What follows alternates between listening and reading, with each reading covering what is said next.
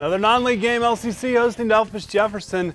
Birds up 12-0 in the third, looking for more. Runners in second and third for Frankie Bowersock. Lays down the bunt. Samantha Branham throws her out at first, but the pitcher, Meredith Neese, scores 13-3. Next batter, Gabby O'Dowd. Smash to third.